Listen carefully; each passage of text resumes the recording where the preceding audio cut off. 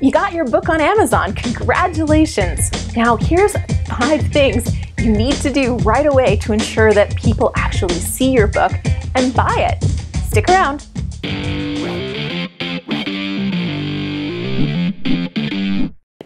Hey there, I'm Julie Broad with HaveMoreInfluence.com.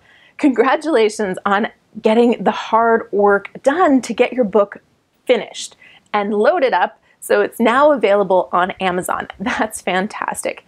But the reality is a little grim. There's a lot of information out there saying that the average book sells less than 250 copies. What? So that means just getting it on Amazon is not enough. You need to do some things so that it appears when other people are shopping on Amazon so that it gets seen so that it can be purchased. So here's five things that you need to do once your book is available on Amazon.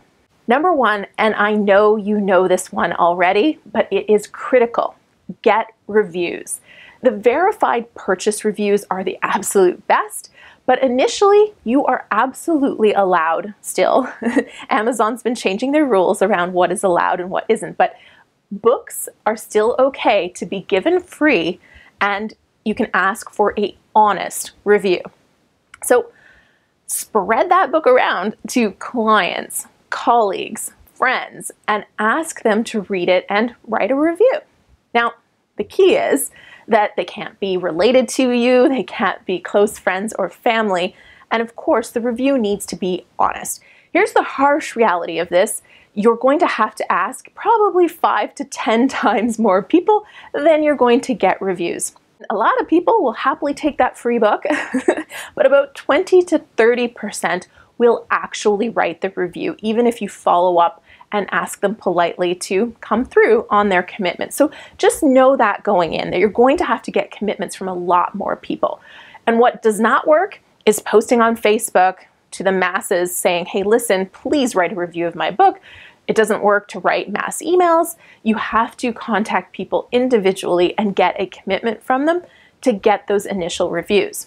Now that you know how important reviews are and how hard it is to get good reviews, I hope you're taking the time to write reviews for the authors that you read and enjoy because it's something that we can all do to help each other out. Number two, submit your book to the Look Inside program. You know what I'm talking about, right? It's right here. So this is where people can click on your book and go to certain pages and read them. It gives them a chance to preview the contents of your book without giving them access to the entire thing. So it's a pretty cool marketing tool.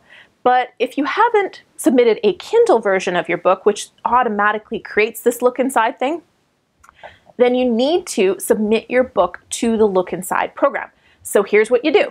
Go to Search Inside Publisher Sign Up, and then the Look Inside will be activated on your book's main detail page within 7 to 10 days after you do the content submission.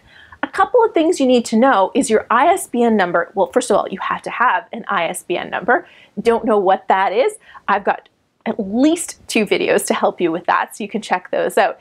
But you need to have an ISBN number and it needs to correspond exactly to the one that you've submitted for the Amazon catalog. The other thing is the content that you submit for the Search Inside or the Look Inside program has to be identical to what is inside your book. Okay. Number three, create your author page on Amazon Central.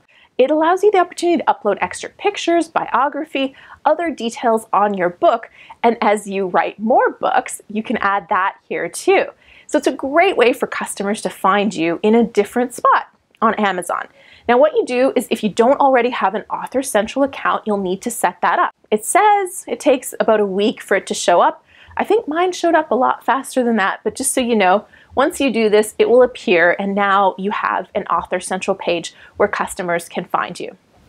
Number four, you want to plan promotions for your book probably focused on selling on Amazon every three to five months, just to ensure that your book climbs the rank on a regular basis so that it can be seen by new readers. Because a lot of times the books that they're seeing are only the ones that are ranking the highest in certain categories, or the ones that are currently selling or are currently being viewed by people who are looking at other books that they're interested in. So you want to plan promotions that drive sales to Amazon every three to five months to ensure that your book stays refreshed and in front of new people. Finally, number five is using the metadata. Basically, you want to think about there's kind of a couple different approaches. One is to think about the keywords that you're going to associate with your book and to keep those updated.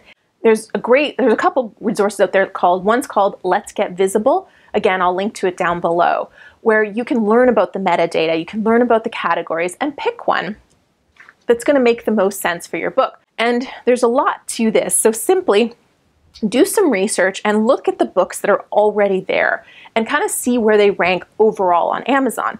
And if you find a category where a lot of the books are ranking over a million overall or something like that, that means that you have a good shot of ranking highly in that particular category. So you want at least one of those. You also want to be inside of those core categories for whatever your book is, and also have corresponding keywords that make sense. One tip on finding keywords is inside of Amazon search bar. You can type in, start typing in your keywords and see what auto fills.